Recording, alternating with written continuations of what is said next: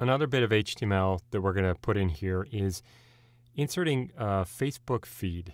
So essentially content from our Facebook and likes and different things like that that we're trying to get people to, well, in the case of Twitter, follow, or in the case of uh, Facebook, like. Make sure that the um, A master page is closed. Why don't you go and close the A master page and come to the home page. Scroll down and where it says Our Properties right here, we might want to give a feed of the different property listings and things that we're doing on Facebook. Okay. So I'm going to have you use, if you have Facebook, you can use your own if you really want to do that, or you can use mine. It's fine.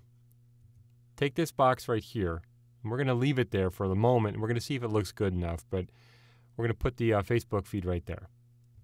Go out to a browser and go to developers.facebook.com you'll see that there's there's tons of stuff here. A lot of these social media, these social sites are they give you um, the ability to work with plugins and work with uh, widgets and different things that you can stick into your pages.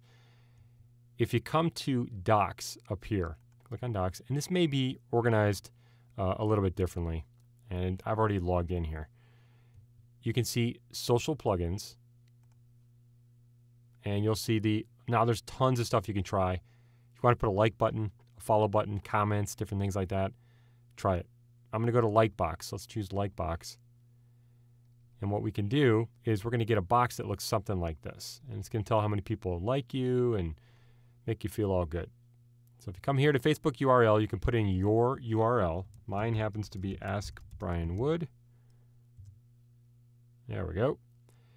And we just started the page. And you're going to see you can set a width. You can set an ultimate height if you want to. Um, this is optional, obviously. I'm going to try 300. We'll see if that works. Eh, maybe a little bit taller, 350, something like that. Okay, give a little bit of room. We can say show faces or don't if we want to. And the faces right there, these are profile photo. You can see right there if you don't know what they are. And then we can go in and say, hey, let's make it dark or let's make it light.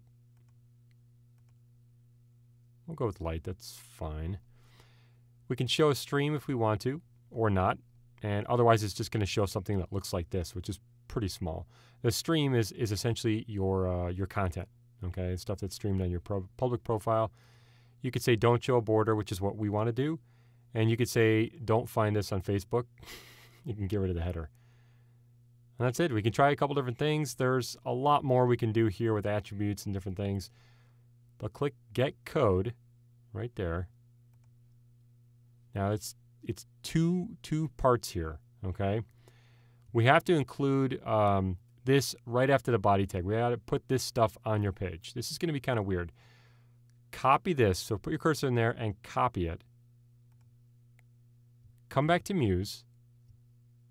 Go all the way to the top of the page. And just paste. Edit paste. What it's going to do is it's going to paste this weird little HTML thing, which is going to be kind of hard to see. What we want to do is we want to take this bad, bad boy and we want to put it up here at the top, okay? So we can just stick it somewhere up here at the top if you want to. There we go. Okay, now go back over to Facebook, come to this code. This, that, this code right here is just going to get it to work. This code right here is what shows on your page. So we want to copy this. Click OK if you want, it doesn't matter. Come back over to Muse. Now we need to position it exactly where we want it. So scroll down to the green box down here and paste. Take a second. There we go. Now, unfortunately, we're going to kind of have to guess here as far as positioning. So put it right there. It's not going to preview it directly right now. So it may. I mean, it, I've actually had it happen. Save your page, or site rather, and then let's preview the site in the browser. Sometimes with this type of thing, why don't you click on properties then? And we can see. There we go. There's our feed. Bingo, bango, bingo. Cool. Now you can see there's a little bit of weirdness going on here. We probably need to make this a little bit taller. Uh, we can also make this a little bit wider if we wanted to. Make it look a little bit better. So if I go back to Facebook, if you want to, we can change the width on this. Maybe like 350, something like that and go a little bit shorter, 300. You got to be careful with this because if you cut off too much, it might not look right. We can then get the code again,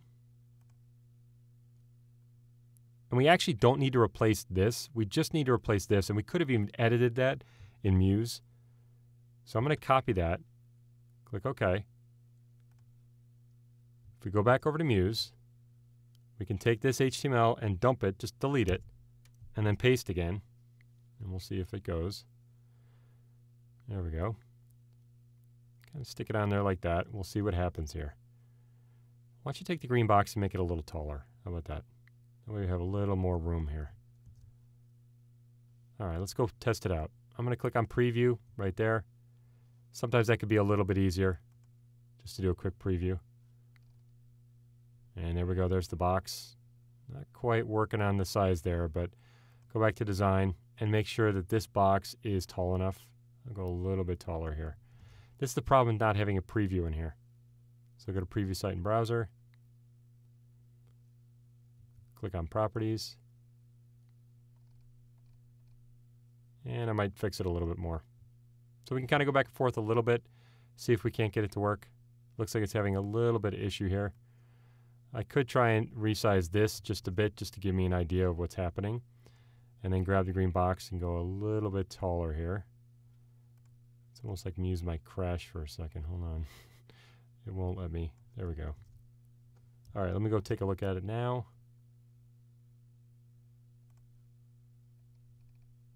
There we go. Looks a little better. You can fool around with it a little bit. And there's our Facebook content. Nice. As a designer, you can go in and design this however you want. If you wanted to, we could go into this box here and maybe instead of a green fill, we could try a white fill. Do something a little different like that just to see if it would look better uh, as far as the Facebook content that's on there right now. I'm just kind of playing around. Yeah. Your call. Do whatever you want. You can try some different things. Anyway, that's working with Facebook. Uh, it's some great, great ways to add different content, different HTML content to your pages. Next, we're going to take a look at inserting different types of video into Muse.